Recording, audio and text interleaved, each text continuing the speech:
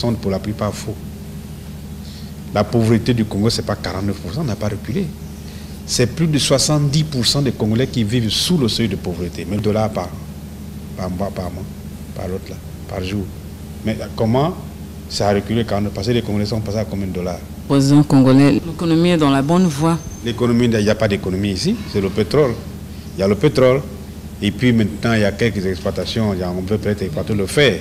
Mais au niveau du gouvernement, le président parle d'une industrialisation. Quelle industrie ici Que le chômage a baissé? Mais c'est très grave. Le chômage a baissé où? Poser la question aux jeunes Congolais, c'est très grave. Il est explosif le chômage dans notre pays. Le président ose dire que le chômage a baissé. De quel côté? Ils sont devenus plus misérables qu'avant.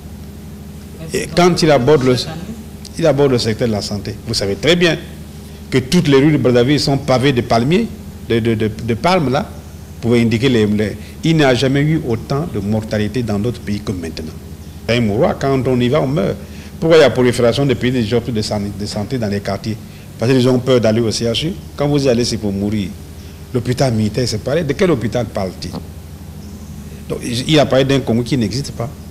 C'est une honte de venir faire un discours qui ne correspond à la situation réelle de son pays et on appelle ça État de la nation.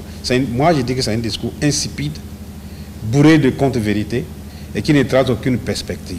Du, du, du pétrole euh, dont le président a, parlé tout à l'heure, c'est vrai. Ah, c'est encore plus grave le pétrole. Moi, j'ai dit que l'ETI s'est trompé. C'est encore plus grave. Demander au président qui dise à la SNPC de publier la feuille de vente du pétrole. Jamais, ça n'a jamais été publié. Mais 92 millions de tonnes qu'on produit maintenant, la part du Congo, c'est combien? Il n'a qu'à dire ça au peuple.